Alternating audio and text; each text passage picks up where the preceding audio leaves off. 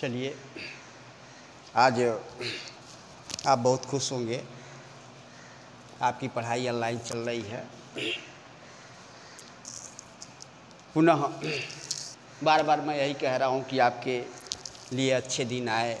ईश्वर से अरदास कर रहा हूँ। ईश्वर खुदा गाड परमात्मा अल्लाह मालिक से बराबर विनती कर रहा हूँ, प्रार्थना कर रहा हूँ कि हे ईश्वर, हे खुदा, हे गाड हे परमात्मा अब तो कम से कम अच्छे दिन आए। बहुत दिन हो गए, बहुत दिन हो गए।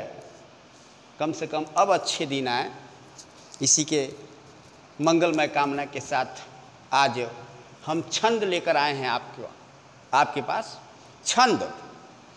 इसमें नौ, दस, ग्यारह, बारह, इन चारों क्लासों में छंद से प्रश्न पूछता है। निश्चित रूप से आएगा कि यह कौन सा छंद है। दोहा छंद है, सोठा छंद है, रोला छोट छंद है, चौपाई छंद है, आदि आदि। तो जब तक आप जानेंगे नहीं, तब तक आप बता नहीं सकते हैं कि वह कौन सा छंद है। इसमें सबसे पहले आप समझिए कि छंद कहते किसे हैं। छंद कहते किसे हैं।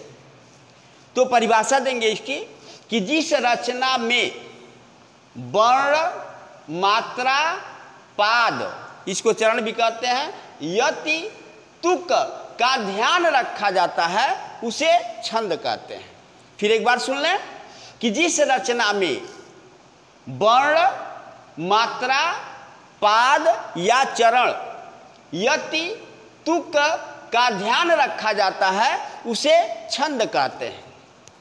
इसमें बहुत सारी बातें आ गई। कि वर्ण क्या है, मात्रा क्या है, पाद क्या है, यति क्या है, तुक क्या है, यह जब तक आप नहीं जानेंगे, तब तक ना तो आप शुद्ध लिख सकते हैं और ना ही उसको शुद्ध पढ़ सकते हैं और ना बता सकते हैं कि वह कौन सा छंद है। इसलिए सबसे पहले इसे जानना है कि वर्ण क्या है, मात्रा क्या है, पाद क्या है, यति क्या है, तुक क्या है। तो आइए देखते हैं। वर्ण, आप छोटी क्लासों में, छोटी कक्षाओं में पढ़ चुके होंगे। कि वर्ण क्या है, किसे कहते हैं? तो वर्ण ध्वनि की सबसे छोटी इकाई होती है। ध्वनि की सबसे छोटी इकाई को हम क्या कहते हैं? वर्ण कहते हैं। ध्वनि की सबसे छोटी इकाई को हम वर्ण कहते हैं। इसके बाद आता है मात्रा। मात्रा में आप पढ़े होंगे, आ की मात्रा है ऊ की मात्रा है, री की मात्रा है अ की मात्रा है, ओ की मात्रा है। ये मात्रा। मात्रा में बहुत सारी बातें नहीं बतानी है। यहाँ मात्रा को समझने के लिए दो बातें आती हैं। एक को कहते हैं हम हर्ष।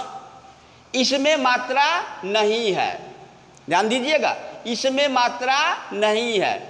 हर्ष वर्ण में इसको लघु वर्ण भी कहते हैं। क्या कहते हैं? लघु वर्ण लघु वर्ण भी कहते हैं इसे। इसमें अ ई उ, री। अ ई उ, री। इनको हम कहते हैं हर्षो वर्ण दीर्घ वर्ण में आता है।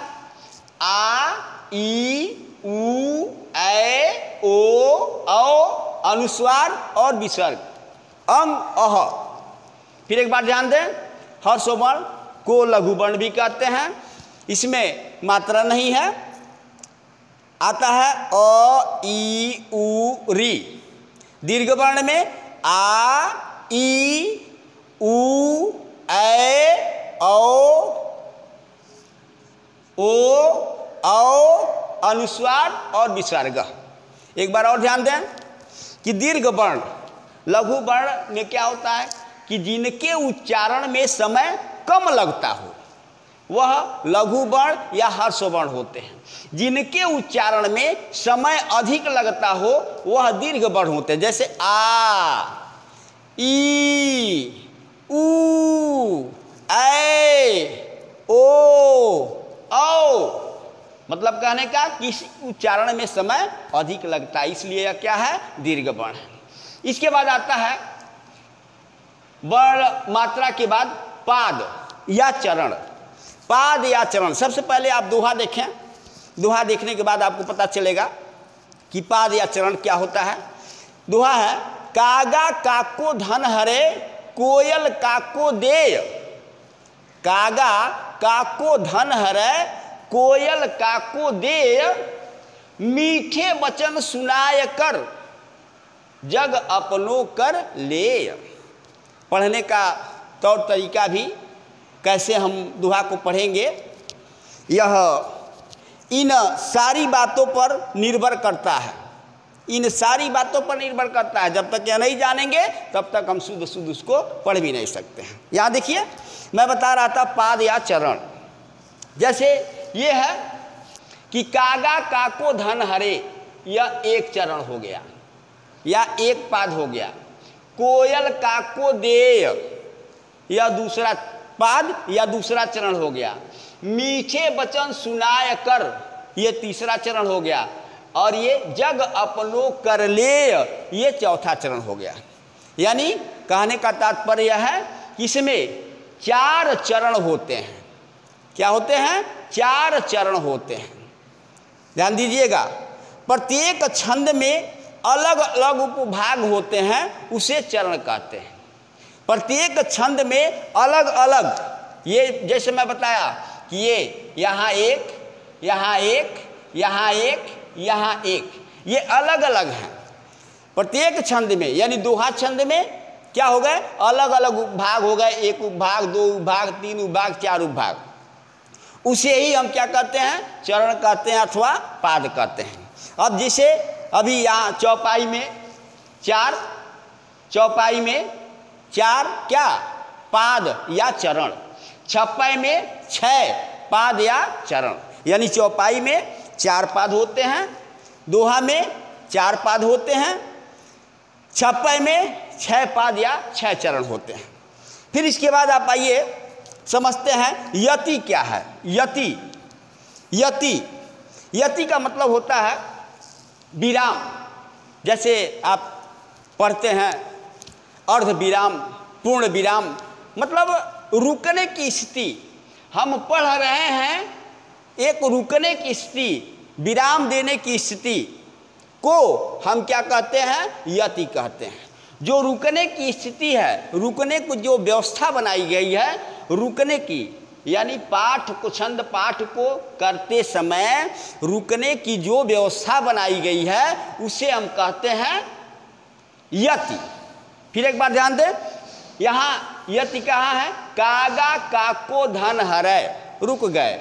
यानी यहाँ पर यति का चिन्ह लगा हुआ है।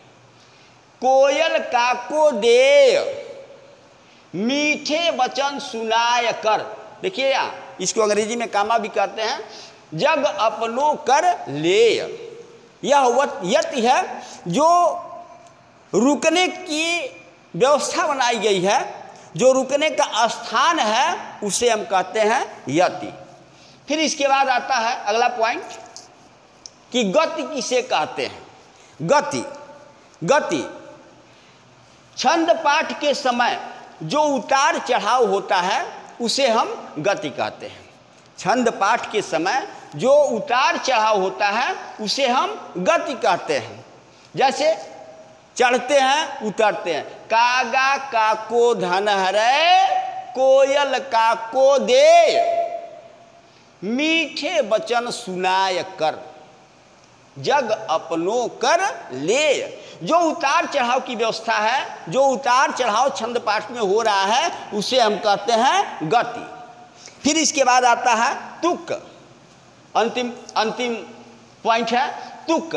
तुक क्या है? कि पद के अंत में वर्णों की समानता को तुक कहते हैं। जो पद का अंत है, य य।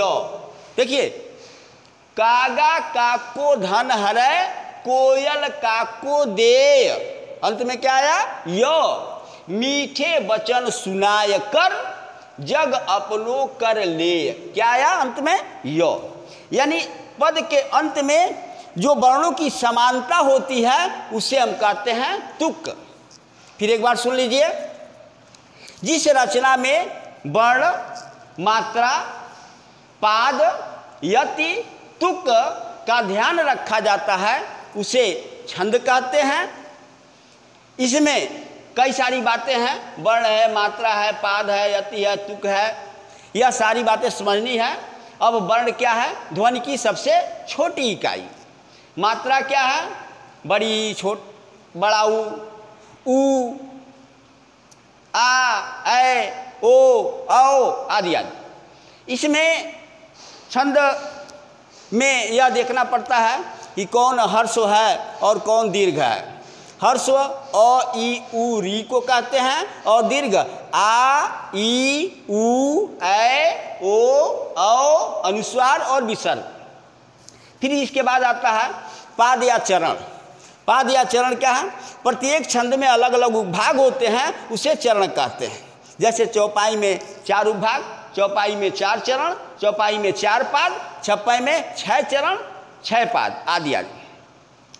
यज्ञ क्या होता है? रुकने की जो व्यवस्था होती है, रुकने का जो स्थान होता है, उसको हम यति कहते हैं। गति क्या होता है? छंद पाठ के समय जो उतार चढ़ाव होता है, उसे गति कहते हैं। तुक क्या है? पद के अंत में वर्णों की जो समानता होती है वर्णों की समानता होती है, उसे हम तुक कहते हैं। जैसे आपको मैं समझाया, कागा काको धन हरे, कोयल काको दे मीठे वचन सुनाए कर, जग अपनों कर ले।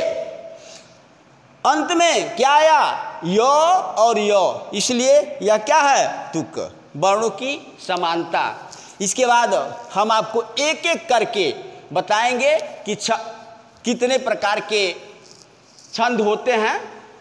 छंद के प्रकार कौन कौन से हैं?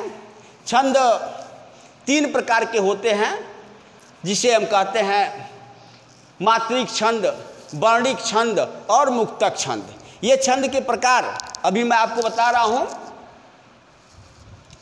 देखिए, छंद के प्रकार हम आपको बता रहे थे। छंद के प्रकार, छंद कितने प्रकार के होते हैं? तो छंद तीन प्रकार के होते हैं। पहले वो कहते हैं मात्रिक छंद दूसरे वो कहते हैं वर्णिक छंद और तीसरे वो कहते हैं मुक्तक छंद मात्रिक छंद वर्णिक छंद मुक्तक छंद यहाँ हम आपको आज के इस वीडियो में मात्रिक छंद बताएँगे, फिर अगले वीडियो में वर्णिक छंद और मुक्तक छंद बताएँगे। तो यहाँ देखिए मात्रिक छंद। मात्रिक छंद क्या है? उसको कैसे परिभाषित करेंगे, कैसे जानेंगे, कैसे समझेंगे? जिनके प्रत्येक चरण में मात्राएँ निश्चित होती हैं। जिनके प्रत्येक चरण में, जैसे कि मैं ऊपर मैं आपको बताया कि पाद या चरण, चौपाई में चार पाद होते हैं, चार चरण होते हैं, छप्पाई में छह पाद या छः चरण होते हैं, दोहा में चार चरण होते हैं, चार पाद होते हैं। तो जिनके प्रत्येक चरण में मात्राएँ निश्चित होती हैं, जैसे दोहा, चौपाई रोला, सोरठा, बरबय आदि आदि। ध्यान देंगे? दोहा, चौपाई, रोला, सोरठा, बरबय। इनमें मात्राएँ क्या होती हैं? इनके पाद या चरण में मात्राएँ निश्चित होती हैं। जैसे यहाँ समझाने हेतु मैंने लिखा कि दोहा में देखिए क्या होता है कि पहले और तीसरे चरण में तेरह तेरह मात्राएँ होती हैं। याद रखेंगे? पहले और तीसरे चरण में तेरह तेरह मात्राएँ और दूसरे और चौथे चरण में ग्यारह ग्यारह मात्राएँ होती हैं। पहले और तीसरे चरण में तेरह तेरह मात्राएँ, दूसरे और चौथे चरण में ग्यारह ग्यारह मात्राएँ। मतलब कहने का क्या है कि निश्चित है कि इतना ही मात्रा होगा। अगर इतना ही मात्रा है, तब तो वह दोहा है, अन्यथा गलत। फिर देखिए, सोठा में इसी का उल्टा होता है कि पहले और तीसरे चरण में, पहले और तीसरे चरण में ग्यारह ग्यारह मात्राएँ, दूसरे और चौथे चरण में तेरह तेरह मात्राएँ होती हैं। चौपाई में प्रत्येक छंद में, प्रत्येक सॉरी प्रत्येक चरण में, प्रत्येक पाद में सोलह मात्राएँ होती हैं। रोला में प्रत्येक पाद में अथवा प्रत्येक चरण में चौबीस मात्राएँ होती हैं। बरवे में पहले और तीसरे चरण में बारह मात्राएँ, दूसरे और चौथे चरण में सात मात्राएँ होती हैं। कहने का तात्पर्य है कि जिनके प्रत्येक चरण में मात्राएँ निश्चित होती हैं, वह मात्रिक छंद होता है और आज आपको मात्रिक छंद ही पढ़ना है। आइए, अब इसके बाद आपको बताते हैं। ये दोहा दोहा यहाँ देखिए, दोहा कैसे परिभाषित करेंगे इसको? ऐसे परिभाषित करेंगे कि दोहा और सम मात्रिक छंद है, इसमें चार चरण होते हैं। इसके प्रथम और तृतीय चरण में तेरह तेरह और द्वितीय और चतुर्थ चरण में ग्यारह ग्यारह मात्राएँ होती हैं। फिर एक बार ध्यान दें, ऐसे ही परिभाषित परिभाषित करना है। कि यह अर्ध सममात्रिक छंद है। इसमें चार चरण होते हैं। इसके प्रथम और तृतीय चरण में तेरह तेरह और द्वितीय और चतुर्थ चरण में ग्यारह ग्यारह मात्राएँ होती हैं। उदाहरण दिया गया आपको। पहले भी मैं बताया, एक उदाहरण दिया था कि कागा काको धन हरे, कागा काको धन हरे, कोयल काको दे मीठे वचन सुनाए कर, जग अपनो कर ले। यहाँ देखिए, कि रहीमन धागा प्रेम का, मत तोरे चटकाय। टूटे से फिर ना जुरे जुरे गांठ परी जाए। अब इसमें हम कैसे स्पष्ट करेंगे, मात्रा कैसे गिनेंगे? यहाँ मात्रा गिनने के लिए आपको बता दे रहे हैं, क्या बड़ा है, क्या छोटा है, देखिए। ये ऊपर मैं आपको बताया नहीं कि हर्ष को हम ऐसे प्रदर्शित करते हैं और दीर्घ को ऐसे प्रदर्शित करते हैं। इतना याद रखिएगा, छूट गया, भूल गया। हर्ष को, यानी लघु वर्ण को हम ऐसे प्रदर्शित करते हैं और दीर्घ वर्ण को ऐसे प्रदर्शित करते हैं। यहाँ देखिए, र एक ही, छोटी ही है। एक, म एक, नौ एक। धा, आ की मात्रा है। दो, गा, दो, प्रेम। दो, एक, दो। ध्यान दीजिएगा। एक, दो, तीन, चार, दो छ दो आठ, दो दस, एक ग्यारह, दो, तेरह। क्या मैं दिया हूँ? कि तेरह मात्रा। यानी प्रथम चरण में कितना? तेरह। फिर ध्यान दें। एक, दो, तीन, चार, दो छ दो आठ, दो दस, एक, ग्यारह, दो, तेरह। ये तेरह हो गया। फिर प्रथम चरण में। और फिर द्वितीय चरण में कितना है? ग्यारह। तो एक, दो दो चार, दो छ एक सात, आठ, नौ सारे कहाँ से मैं एक, दो दो चार, एक पाँच छ सात, आठ, दो, दस, एक, ग्यारह। ध्यान दीजिएगा। ये एक की मात्रा है। यह एक की मात्रा है। यदि ए की मात्रा होती, तब दो होता। रहीमन धागा प्रेम का मत तोरे चटकाय। टूटे से फिर ना जुरे जुरे गांठ परी जाए। यहाँ देखिए मात्रा, फिर से ध्यान दें। एक, दो, तीन, चार, दो छ दो, आठ, दो, दस, एक, ग्यारह, दो, तेरह। पहले चरण में तेरह, दूसरे चरण में ग्यारह। एक, दो दो, चार, पाँच छ सात, आठ, दो, दस, एक, ग्यारह। फिर ऐसे ही सारे चरणों में निकाल लेंगे। इसमें कितना होगा और इसमें कितना होगा। तो फिर एक बार ध्यान दें कि दोहा में पहले और तीसरे चरण में तेरह तेरह मात्राएँ और दूसरे और चौथे चरण में ग्यारह ग्यारह मात्राएँ होती हैं।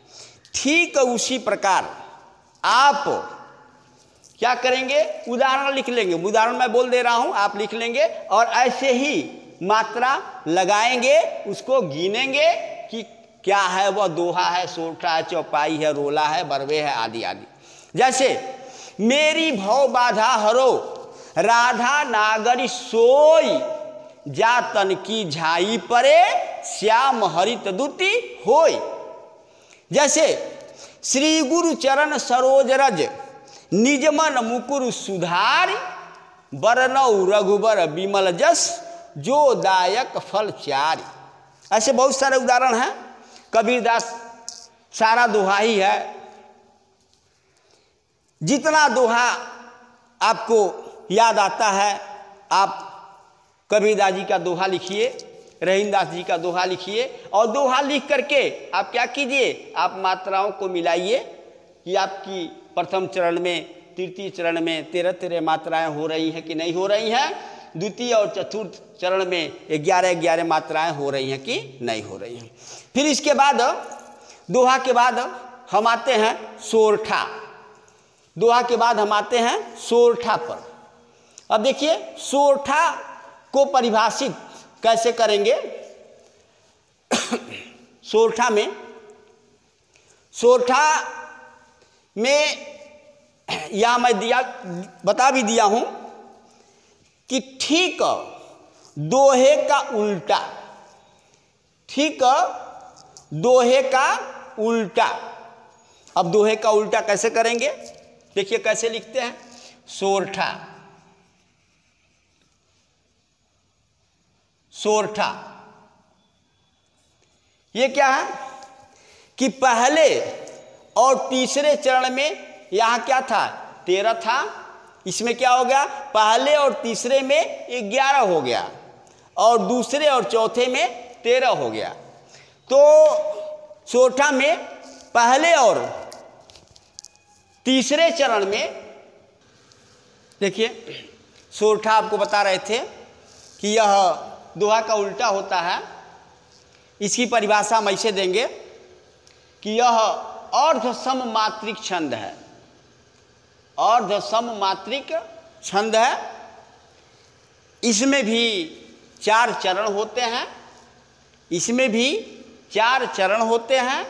इसके प्रत्येक चरण में मात्राएँ कैसे होती हैं? इसके लिए इसके प्रथम और तृतीय चरण में ग्यारह ग्यारह मात्राएँ और दूसरे और चौथे चरण में तेरह तेरह मात्राएँ होती हैं। जैसे उदाहरण स्वरूप, उदाहरण दिया गया आपको कि नौ उज्जवल जलधार हार हीरकसी सोहती, बीच बीच छहरती बूद, मध्य मुक्तामणि पोहती। दूसरा उदाहरण दिए कि नील सरोरुह श्याम। नील सरोरुह श्याम, सरुण अरुण वारिज नयन। करौ सो मम उर धाम, सदा क्षीर सागर शयन। यहाँ देखिए कैसे मात्राओं को देखेंगे। यहाँ मैं आपको बताया कि पहले और तीसरे चरण में ग्यारह ग्यारह, दूसरे और चौथे चरण में तेरह तेरह मात्राएँ होती हैं। यहाँ देखेंगे नौ व। नौ व मात्रा नहीं है एक एक एक एक, उ, एक, आधा। जहाँ भी हो, उसके लिए हम मात्रा नहीं लगाते हैं। ज एक, व एक, ल एक, ज एक, ल एक और धा। दो और र एक। कितना हो गया? एक, दो, तीन, चार, पाँच छ सात, आठ, दो, दस, एक, ग्यारह। यानी प्रथम चरण में कितने हो गए? ग्यारह। द्वितीय चरण में देखेंगे कि हा, दो, र, एक, ही, दो, र, एक, क, एक, सी, दो, सो, दो, ह, एक, और ती ती एक। छोटी मात्रा है, बड़ी में दो लगता है। तो यहाँ गिनेंगे, दो, एक तीन, दो पाँच, एक छ, एक सात, दो नौ, दो ग्यारह, एक बारह, एक तेरह। यानी शर्तानुसार यह क्या है? सोरठा है। शर्तानुसार यह सोरठा है। आप स्पष्ट आपको स्पष्टीकरण देना हो तो स्पष्टीकरण में आप ऐसे लिखेंगे कि उक्त छंद में प्रथम चरण में और तृतीय चरण में ग्यारह ग्यारह मात्राएँ हैं और द्वितीय और चतुर्थ में तेरह तेरह मात्राएँ हैं, इसलिए यह सोरठा छंद है। फिर एक बार, यह अर्ध सममात्रिक छंद है, इसके प्रथम और तृतीय चरण में ग्यारह ग्यारह और दूसरे और चौथे चरण में तेरह तेरह मात्राएँ होती हैं। उदाहरण स्वरूप नौ उज्ज्वल धरहार हार हीरक्षी सोहत, बीच बीच छारती बूद मध्य मुक्ता मणि पोहत। दूसरा उदाहरण दिए कि नील सरोरु श्याम, सरुण अरुण वारिज नयन करौ सो मम, उरधाम, सदा क्षीरसार क्षीर सागर शयन। अब आपसे देखिए, केवल ऊपर के पंक्ति में मैंने मात्रा दिया। ऊपर के पंक्ति में मैं मात्रा दिया, आपको बताया, समझाया। अब आप क्या करेंगे कि जो नीचे वाली पक्ति है, आप उस पर भी मात्रा बैठाएँगे कि जो शर्त है, तेरह ग्यारह का, वह शर्त पूरा कर रहा है कि नहीं। और जिसको यह मात्रा लगाना आ गया और यह याद हो गया, यह याद हो गया, वह कभी छंद भूल नहीं सकता है। इसलिए मैं चाहूँगा कि सबसे पहले आप इसको याद करें कि किसमें कितनी मात्राएँ होती हैं, किस किस, के किस चरण में कितनी मात्राएँ होती हैं, जिसको याद आ गया, वह जीवन में कभी भी छंद भूल नहीं सकता है। इसके बाद हम आपको बताएँगे कि चौपाई। इसके बाद आपको मैं बता दिया, दोहा बता दिया सोठा बता दिया, अब आपको बताते हैं चौपाई। चौपाई देखिए कैसे है। चौपाई क्या परिभाषा है?